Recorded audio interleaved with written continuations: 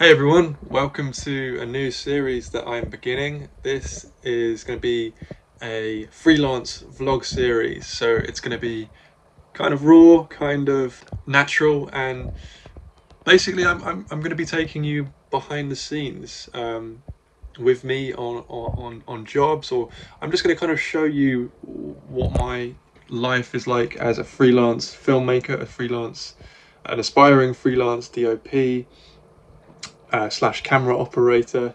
Yeah, I'm gonna bring you guys along by documenting the journey and, and sharing it with you. I'm in my first year freelancing technically full time, so it's super early days for me and at the same time kind of exciting because you know everything's fresh, everything I'm learning so much all the time. So I want to share this journey with you. I want to bring you along kind of hope and hopefully you can kind of learn from some of the mistakes I may make uh, or some of the lessons I may learn along the way. So I want to give a shout out to Moorfield Visuals, David Moorfield, and the Cranky Cameraman because I got to give them credit. These guys are the ones who inspired me to create this kind of video format. Props to those guys. They're doing great things right now, um, and you should definitely check them out as well. But I want to kind of share my perspective because I think everyone has their own perspective, and I feel like the unique thing that I bring to the table is I'm obviously based in London in the UK, so I bring the perspective of uh, someone who is working within the, the UK film and video industry. Um, and I don't know if anyone else anyone else in the UK is doing this style of video yet, so I may be the first. Dare I say it? Um, so hopefully that's interesting for you guys. And you know, while this series will be focusing on a lot on the, the business aspects of being a freelance filmmaker, I also want to kind of bring a, a creative side to the table as well because that is first and foremost what I am a creative. I hate that word, but that's what I am. Um, an artist, first and foremost, to be honest. Um, I've learned business, I've had to learn it as I've got into this game, but the artistry, the the creativity, uh, and the storytelling is really what I love about filmmaking, and that's why I do it. And I want to share tips within this series on those those things as well, not just the business sides. So stick around, and I hope you enjoy the journey.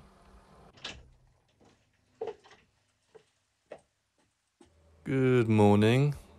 Today we are heading off to Bournemouth here in the UK to film a brand video for a non-profit over there. Um, it's about a two hour, two and a half hour drive. Um, so packing up the car now, as you can see, you know, standard, doing the, the thing we all have to do before shoots. Gotta love it. Gotta love the grind.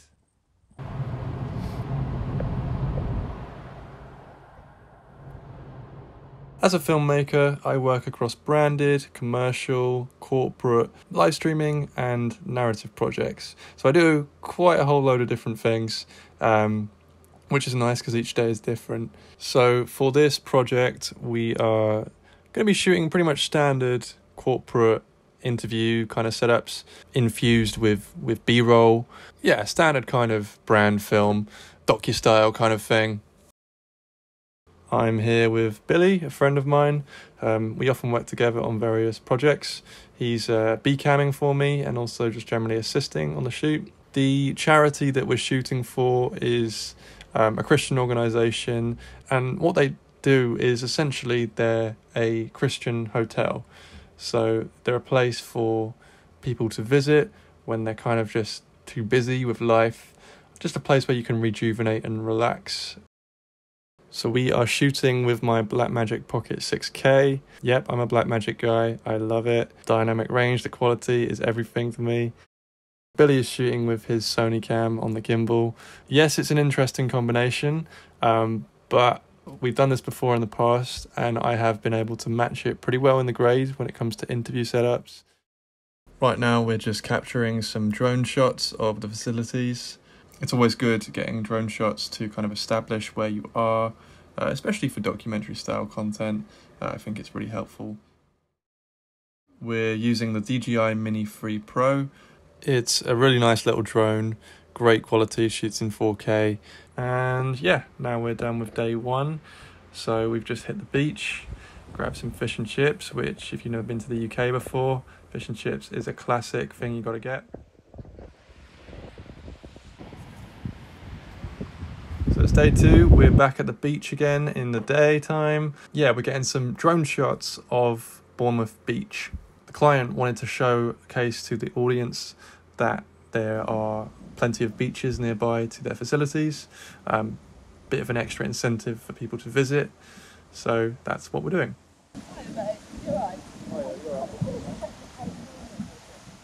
So we're filming shots on the beach. Billy's getting the drone bits in the sky. I'm getting some ground shots. And as we're doing that, a lifeguard comes over and says that we can't film on the beach. Um, the drone wasn't having any issues. It's it's a DJI Mini 3, so it doesn't. Uh, you don't need to get permission in certain areas. But yeah, apparently we couldn't get the shots, so we move over to a different beach and get the shots there. Now we are filming interviews with various staff members at the organisation. In terms of lighting, we have a small rig, 220 uh, watt as the key light with a softbox on it, and then we have a Aputure MC just as a hair light. Then some nice practicals in the background, which is always good. And we are wrapped on our Bournemouth shoot, so now we're heading back home and we'll shortly get into post production for this brand film. It is a new day, and today I am heading off to a live streaming shoot. Classic hipsters in the morning with their coffees. Um, so today I'm going to be working with a friend of mine, Phil, who I've worked with multiple times on different li- in different live stream scenarios. We're live streaming a funeral today in East London, um, and yeah, it's going to be an interesting experience. So yeah, today is going to be interesting.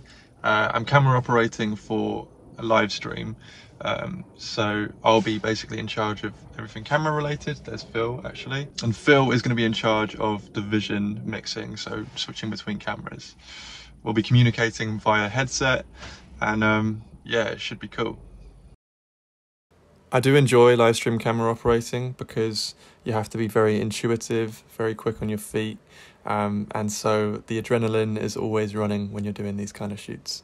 Live streaming is one of those things that it's quite hard to get into, um, and so I've been quite fortunate where I've I've had a lot of experience live streaming at my old church camera operating on Sunday services.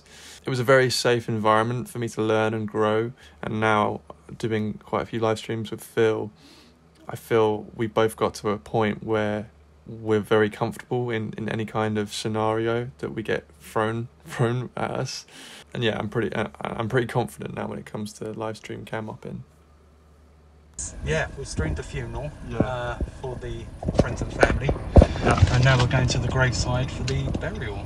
essentially we've just had to we were all set up in the church all plugged in and everything and mid service out of the memorial Yeah. we've had to pack up rush out the ATEM switch is still streaming St- still, li- still in the live ba- in, the, boot. we're broadcasting live from the boot. yeah and now we're heading to the crematorium to do the uh, the burial Yeah, of, the, yeah. of the service and uh, yeah it's going to be interesting so It's definitely going to be interesting. I couldn't really film too much behind the scenes uh, um, in the church because I want to respect the privacy of the family. But now we're heading over to the cemetery to film the graveside burial. Today for this shoot, we were rocking two Sony FS5 cams. Uh, on one of the cameras, we had a standard Sony kit lens. Uh, this camera was mostly capturing wide shots. And on the B cam, which I was generally operating on, we had a 70 to 300 millimeter telephoto lens, and this was to capture all kinds of tighter close up shots of family members. As you can see from this still image here, uh, this is Phil by the car, and in the boot of the car is where he was basically vision mixing the outdoor scenes. So in the boot, you've got the Blackmagic ATEM Mini, um, and all of his kit to broadcast the stream and switch between the different cameras. And that long SDI cable is running into my cameras, which are by the graveside. So yeah, definitely an interesting setup, but we made it work.